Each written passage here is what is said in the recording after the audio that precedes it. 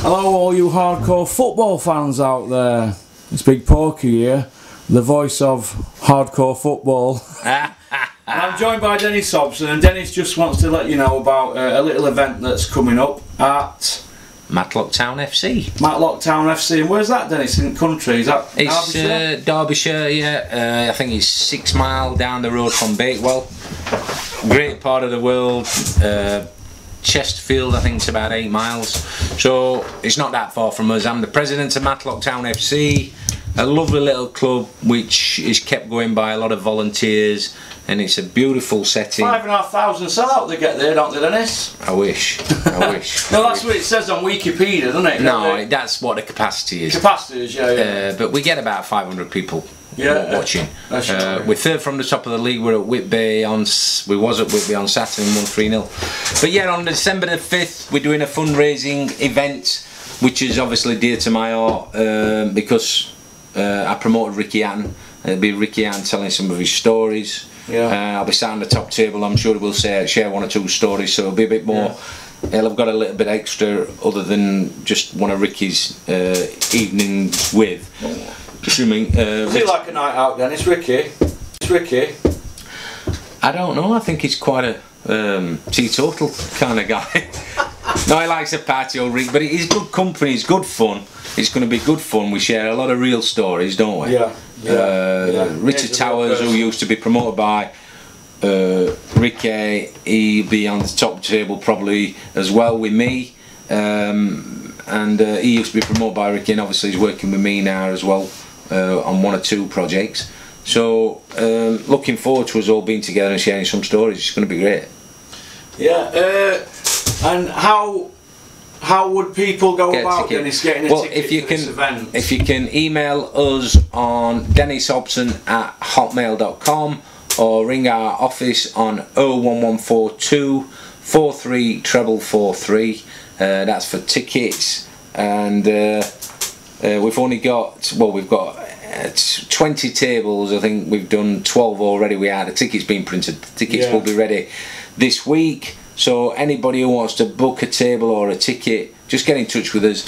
We'll make sure you have a fantastic night, and it's all for a good cause because we're raising money for uh, a non-league football club who are who are trying to do the best, and it's in, it's, it's a great location and gives some of these kids uh, an opportunity to maybe further the career. We've got one kid at Matlock Town now who, who uh, football league clubs are looking at. He's just 20. He got released by Everton years ago, and uh, he's he's got a chance of getting back in. So it's a platform for kids. We signed a kid from Matlock to Sheffield United uh, as a as a first year pro uh, with Sheffield United. So he signed a three year deal. He was he was only 18. We signed he signed uh, with Sheffield United earlier this year. Ashton Hall. So you know we are a we are a feeder club as Yeah. well. Um, it's a smashing little club.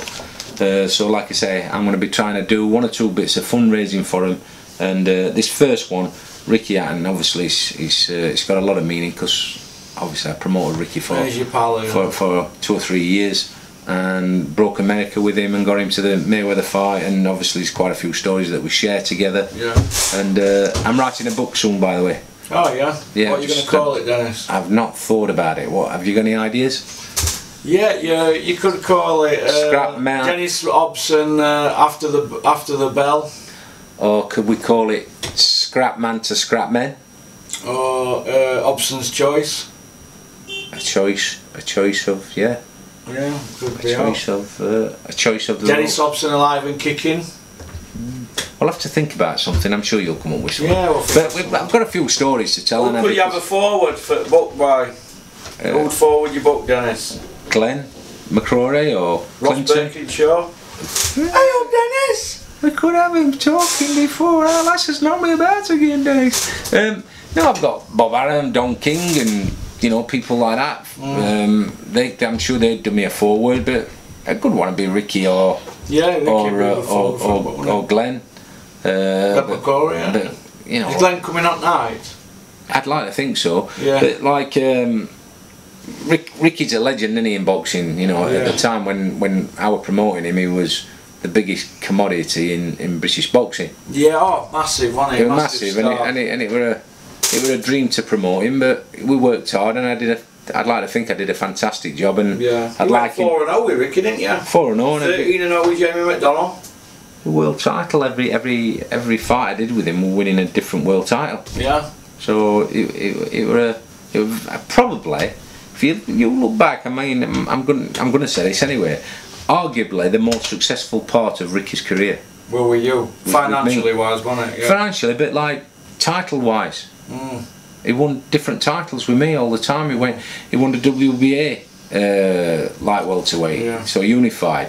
Then he stepped up and the WBA welterweight title. Then he come back down and won Yeah, the IBO or something. no, he won he won the IBF light Yeah. welter, which which uh, Juan Urango got, and then against Castillo he, he got the IBO. They were all tough fights he had with you though, then, weren't they, really?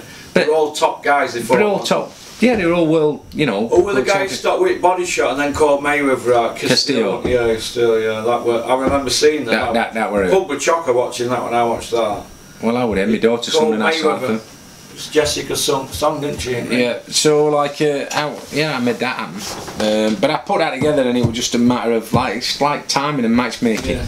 I didn't fancy it, I didn't really want to collapse so far, I'll be honest with you. Mm. Um, but it, it happened, but Can we, while I've got you on the Ricky Hatton situation, Ricky Yeah. Hatton story, Dennis, can we just clear up the the actual? We know about when you were going to sign for Barry Hearn, and then you turned. We we've spoke about that. Yeah. You asked him to turn car around and give you another 24 hours. So he signed 48 you. hours. 48 hours. So, so we know about that. But uh, the actual Mayweather fight. Did you want the Mayweather fight? no, No, and that's where you sort of parted, didn't no, um, it wasn't because of I didn't want the Mayweather fight.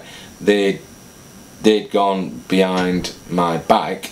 And Not Ricky though. not Ricky because he was just he thought everything were okay.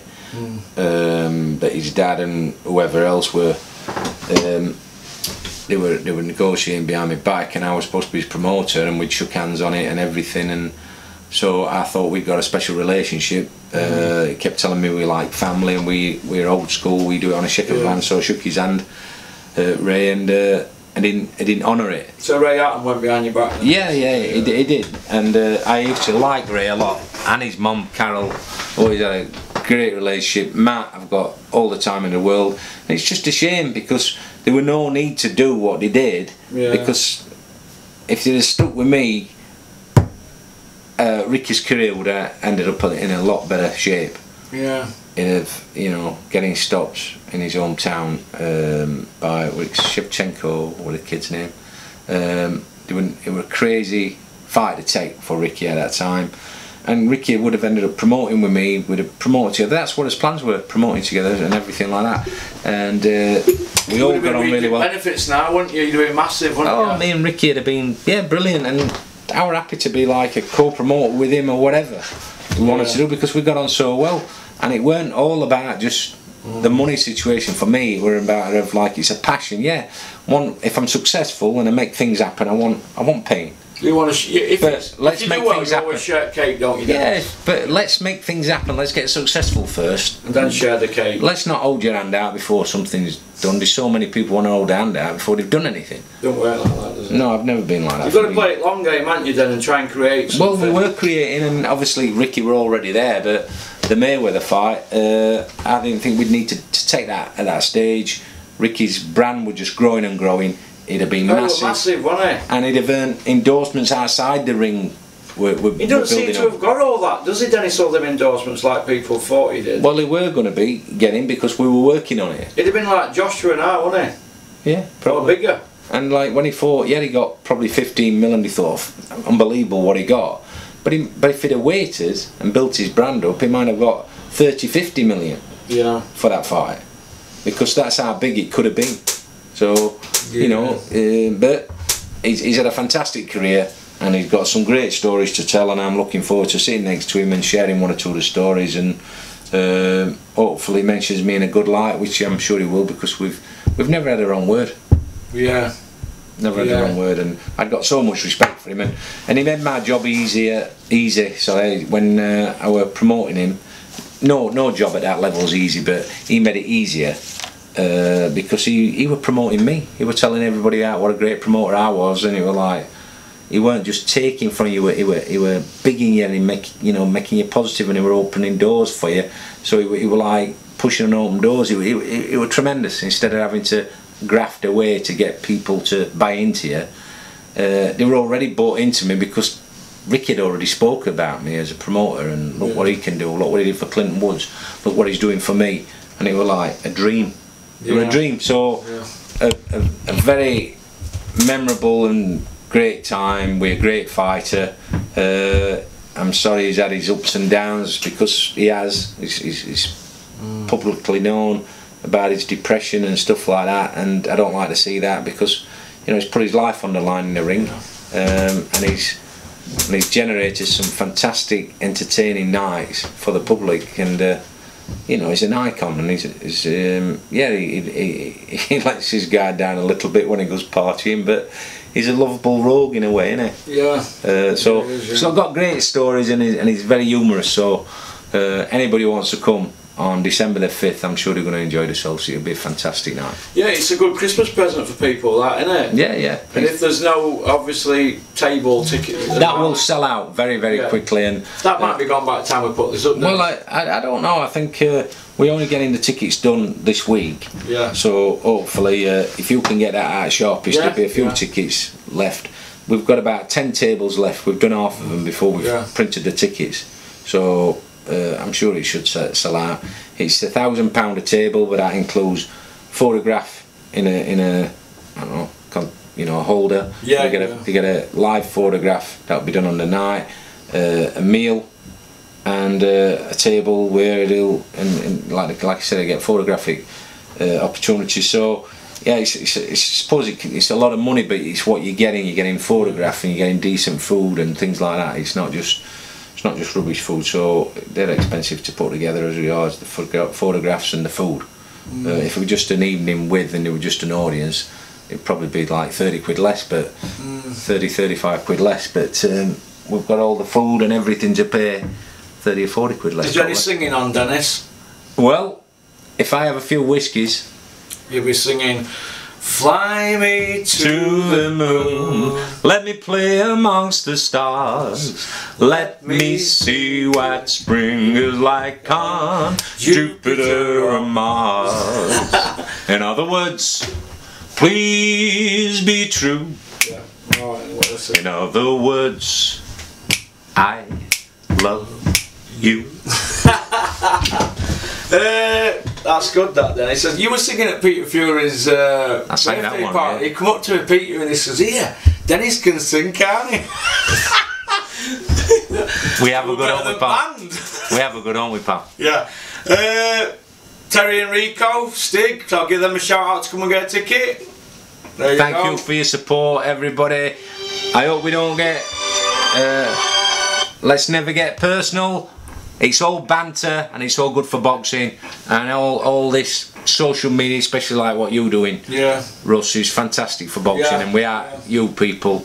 Uh, well, with you people, it makes Yeah. our job easier. Yeah, yeah, yeah.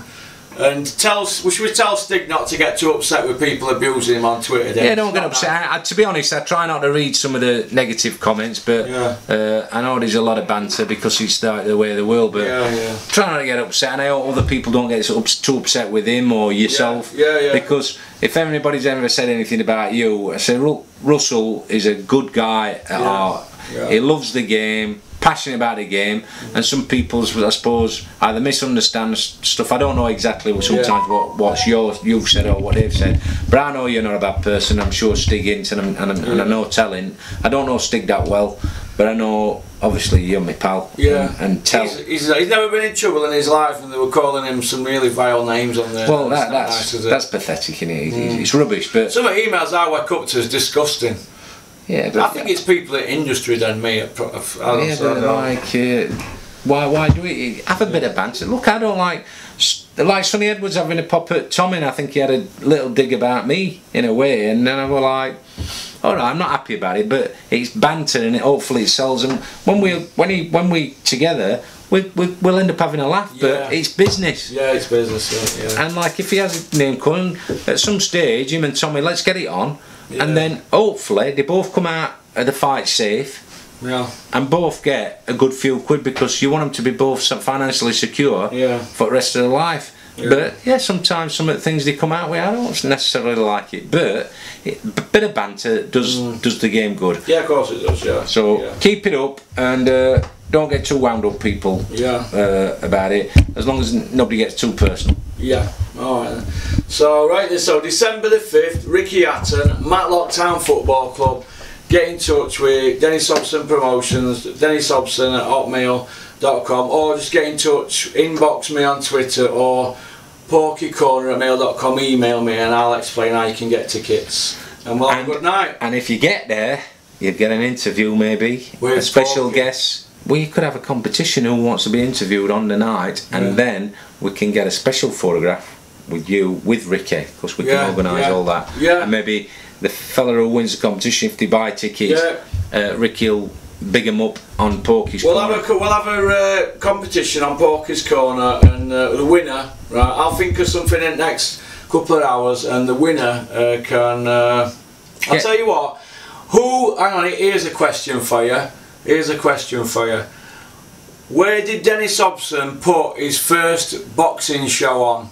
Where did he promote his first boxing show? Now, if you go on BoxRec, it'll tell you Pine Grove, but you did put something on somewhere else in an amateur night, wasn't it, Dennis? An amateur night, wasn't it? No, no, no. No, was it a professional? Glen Roads were a third, were, were a top of the bill. Good, right, so, but, right, see if they can guess where it was, yeah? And you were the promoter on the night, yeah? And somebody's going to be ringing. somebody's going to be ringing.